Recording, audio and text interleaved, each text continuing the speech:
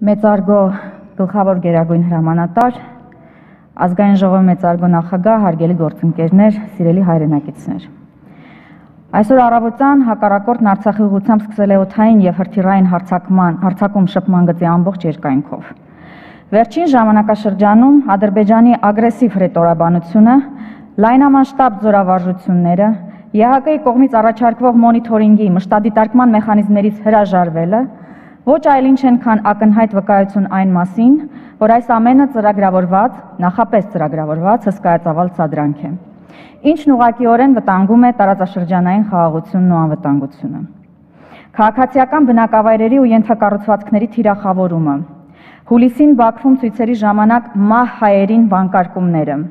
Մեծամորի ատոմակայանի հրթիռակոծելու պաշտոնական սպառնալիքը աղաղակող փաստեր են այն մասին, թե ինչու ենք մենք հայերս խոսում էգզիստենցիալ իրավունքից, ապրելու իրավունքից եւ ադրբեջանցիների կողմից հայերի նկատմամբ էթնիկ ատելությունից։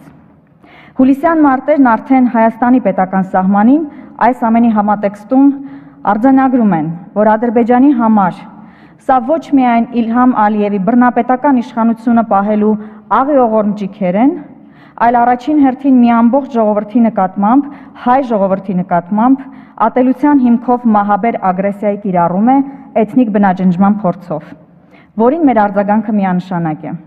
Արցախի հարցի ռազմական ճանապարհով ցանկացած փորձ հանդիպելու է ողջ հայ ժողովրդի կողմից համարժեք պատասխանի։ Հարգելի կանայք եւ մայրեր, դիմում եմ ձեզ կոչով, դիմում եմ խիզախության կոչով։ Անհրաժեշտության դեպքում լինելու ենք մեր զինվորների կողքին առաջնագծում։ Մի անգամ չէ, որ պատմության ընթացքում ցույց ենք տվել, որ տոկուն ենք մեր հայրենիքը անառիկ պահելու եւ հաղթանակներ գրանցելու հարցում։ Հարգելի գործընկերներ, քանի որ այս պահին մեզ ուշադրությամբ հետևում են նաեւ միջազգային հանրությունը, միջազգային գործընկերներն ու կառույցները,